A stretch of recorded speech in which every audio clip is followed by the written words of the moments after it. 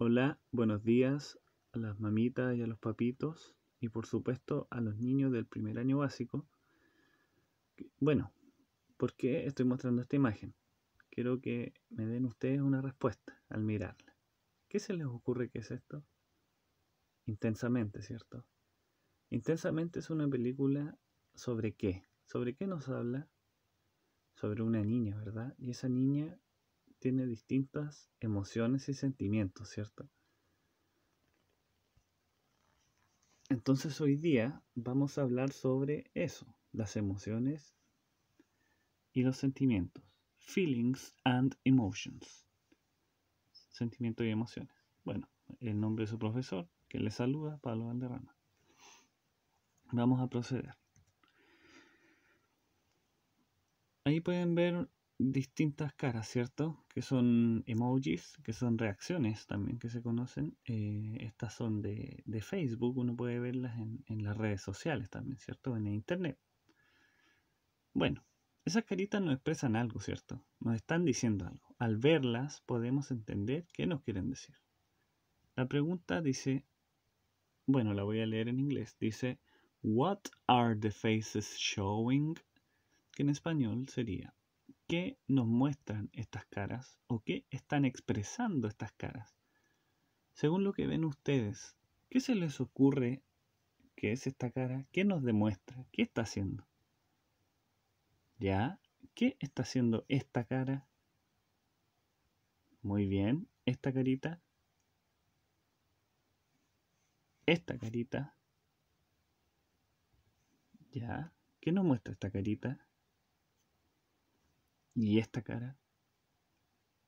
What are they showing? ¿Qué nos demuestran? ¿Qué nos muestran? Al verlas, ¿podemos más o menos entender qué es lo que les pasa a esas caritas? Sí, ¿verdad? Entonces ahora voy a ver cómo anduvieron sus respuestas. ¿Ya? La primera se está riendo, ¿cierto? Entonces la risa en inglés se dice laugh, laugh. La idea es que vayan repitiendo conmigo, ¿ya? Laugh. Or, que significa o, puede ser risa o diversión, ¿ya? Laugh or fun. Fun. Diversión, fun. Worried or surprised, que significa sorprendido o preocupado, ¿ya? Worried, surprised. Feels good, feels good, se siente bien. Good significa bien. Sad, triste, ¿ya? Está llorando, ¿verdad? He is sad, él está triste. O ella, ¿verdad? Happy, feliz en este caso, ¿verdad? Y angry. Angry significa enojado. Angry. Happy. Feels good. Sad. Laugh or fun.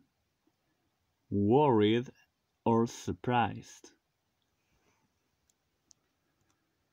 A continuación, les voy a contar un cuento, ¿ya? Un cuentito que nos habla sobre las emociones, por supuesto, que es lo que estamos viendo, ¿verdad? Pero yo se los voy a leer en inglés, ¿ya? Así que aquí vamos a pedir la ayuda a nuestros papás que nos ayuden a ir entendiendo lo que dice. Les comento, ¿cómo hice yo para poder entender o para que ustedes tengan la oportunidad de entender mejor el cuento? Ya, yo arriba puse el texto en inglés, ¿ya? Todo lo que está arriba está en inglés. Lo que está abajo es la traducción en español. ¿Ya? Yo con el dedo les voy a ir mostrando lo que voy diciendo en inglés, que es exactamente lo que está aquí arriba, ¿ya?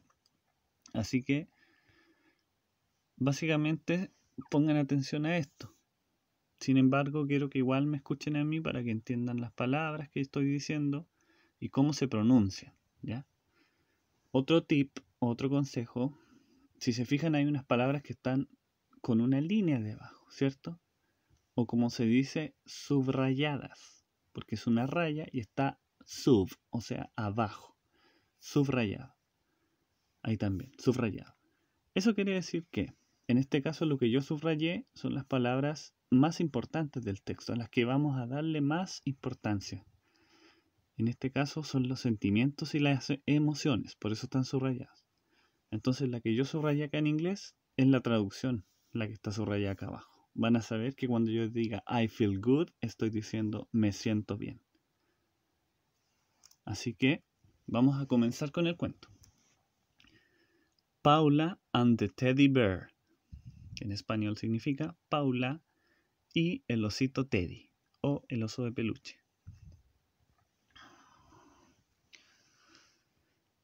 My best friend is called Paula. I like to play with her. When we are together, I feel good.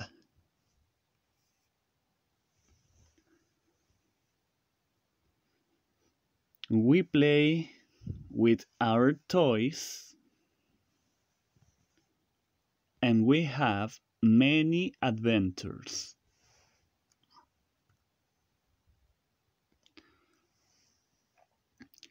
When I am with Paula, I am always smiling. Smiling. We are good friends and we always help each other.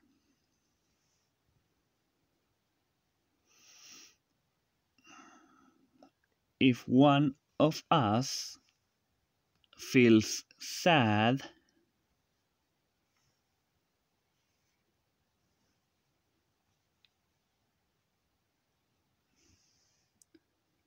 we give a hug to each other.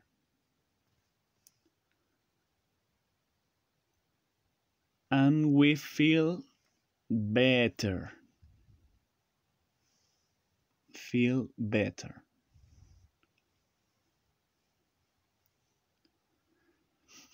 Also, we really like to dance and jump on the bed.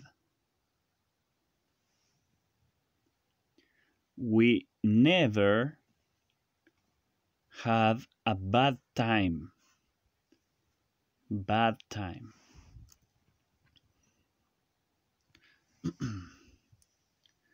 One day, Paula called me by telephone.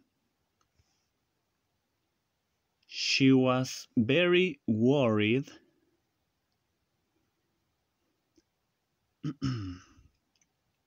because she lost her teddy bear. But she forgot that I had it because it felt sick.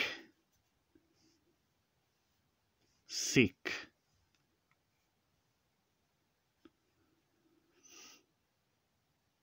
And I wanted to heal it in my house. As she remembered that, she started to laugh. And everything was funny again. Funny.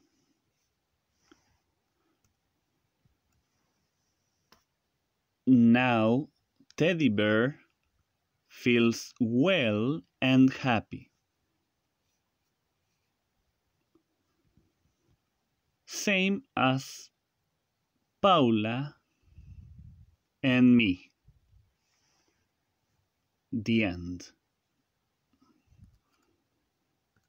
Bueno, para terminar entonces, eh, Espero que en un cuaderno, en este caso este esta tarea es más para los papás, ¿ya? Em, que le ayuden a sus hijos, en este caso, que escriban, por favor, todas las palabras que están subrayadas, ¿ya? Vale decir, en la columna, por ejemplo, izquierda de nuestro cuaderno, a este lado, podemos hacer una línea y separar la, hoja, ¿verdad? A este lado vamos a escribir todas las palabras en inglés, ¿ya? Las, las mismas que aparecen en el cuento subrayado las que están subrayadas en inglés a este lado y las que están subrayadas en español en el cuento al lado derecho. Esa va a ser la tarea, ¿ya? Y en lo posible, una vez que ustedes, los, los papás, quiero decir, hagan em, esta escritura, dejen un espacio para que sus hijos puedan, bueno, em, dibujar en este caso, ¿ya? Una carita que Em, nos demuestre, nos exprese la emoción que está escrita. Por ejemplo, si aquí yo escribo enfermo, que en este caso el niño dibuje una carita de un niñito o una niñita enferma o enfermo. Eso es todo. Saludos cordiales, espero que les haya gustado el cuento. Chao.